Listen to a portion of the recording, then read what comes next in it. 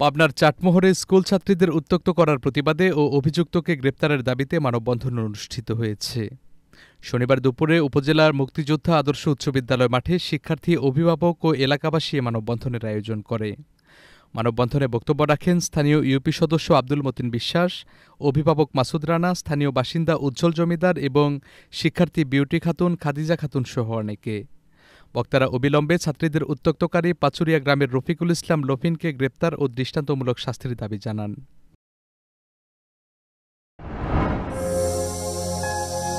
thank you